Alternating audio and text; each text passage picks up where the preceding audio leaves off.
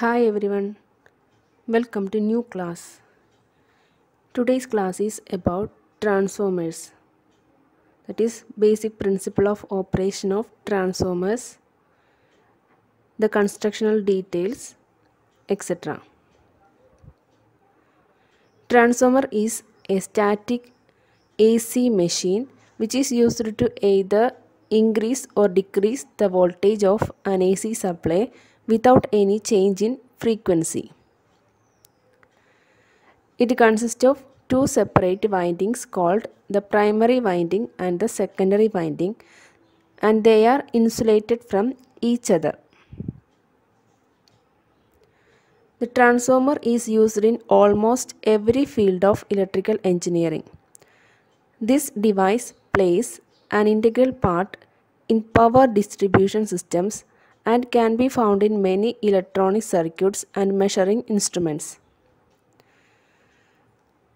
Principle of operation of transformer. The transformer works on the principle of mutual induction. Mutual induction between two coils linked by a common magnetic flux. The two windings are electrically separated from each other but magnetically coupled. That is, it consists of two windings, the primary and the secondary, wound on a common laminated magnetic core.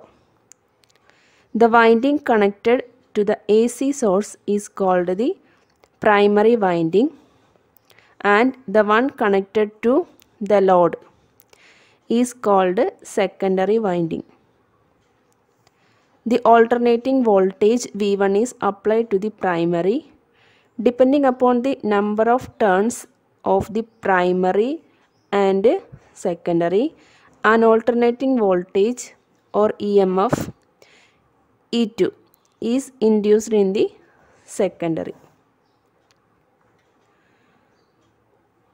The two windings are wound on the same core.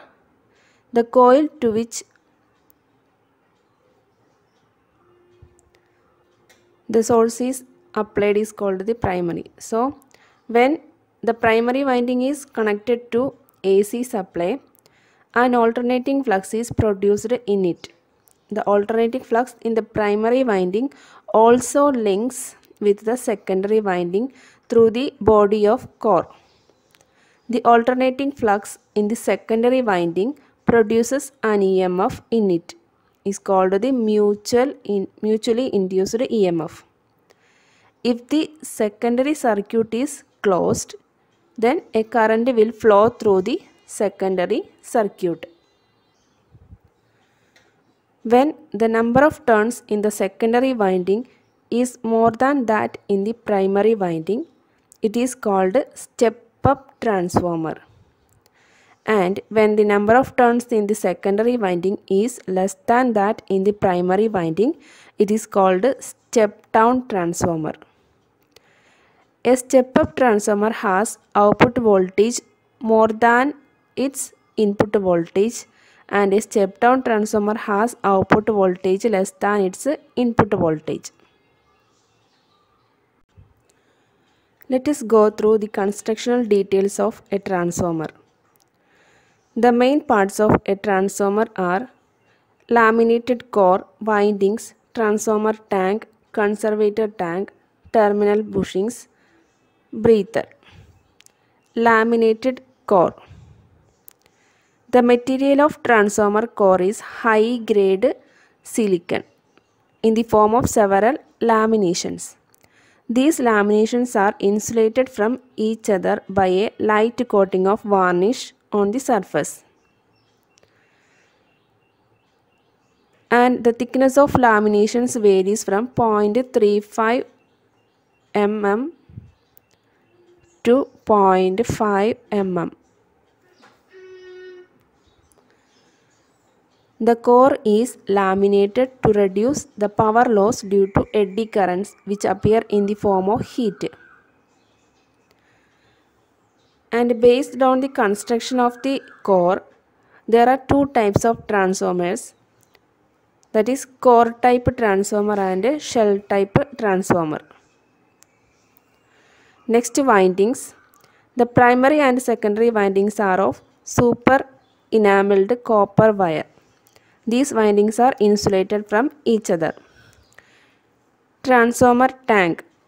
The assembled core and windings are placed within a sheet metal tank and immersed in oil. The transformer oil provides insulation to the winding and core and dissipates the heat produced to the surrounding media. Conservator tank. It is a small tank mounted on the main tank connected by a pipe which takes into account the rise and fall of oil level due to heating and cooling of the coil. The main tank completely filled with oil but conservator tank is partially filled with oil. Terminal bushings. The purpose of the bushings is to insulate and to bring out the terminals of the transformer from the container. Bushings are made of porcelain.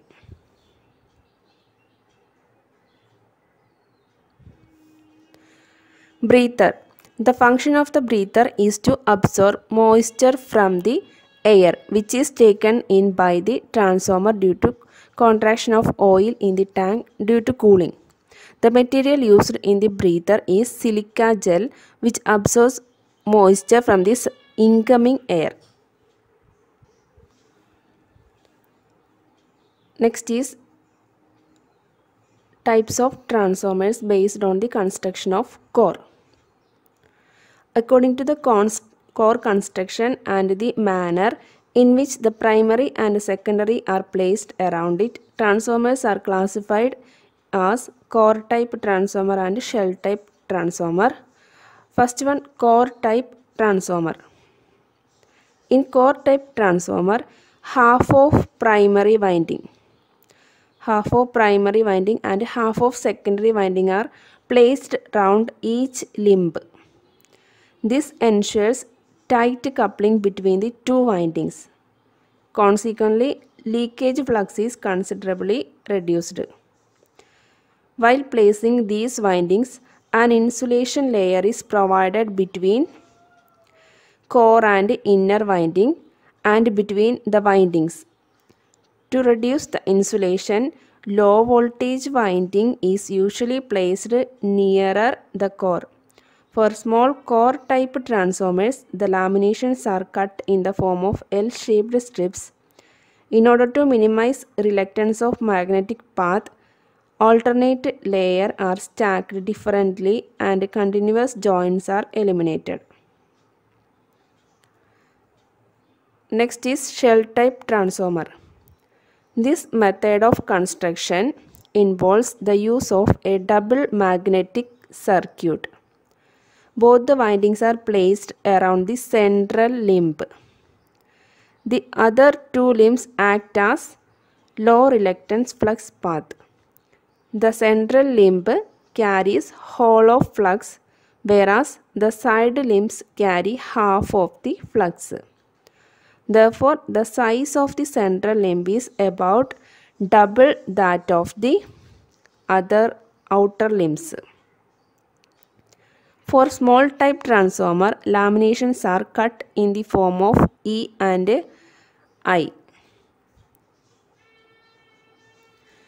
Alternate layers are stacked differently to eliminate, eliminate continuous joints.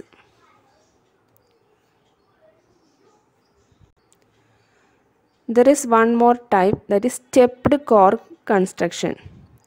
For large transformers, coil will be of the form of circular cylinders. A considerable amount of useful space is wasted in square core construction.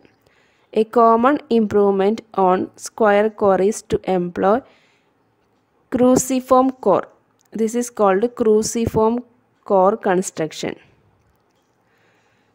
For very large transformers, further core stepping is done. Core stepping involves high space factor. So this is cruciform core and this is stepped core construction. Thank you for watching the class. If you like the classes, please like, share with your friends and subscribe my channel.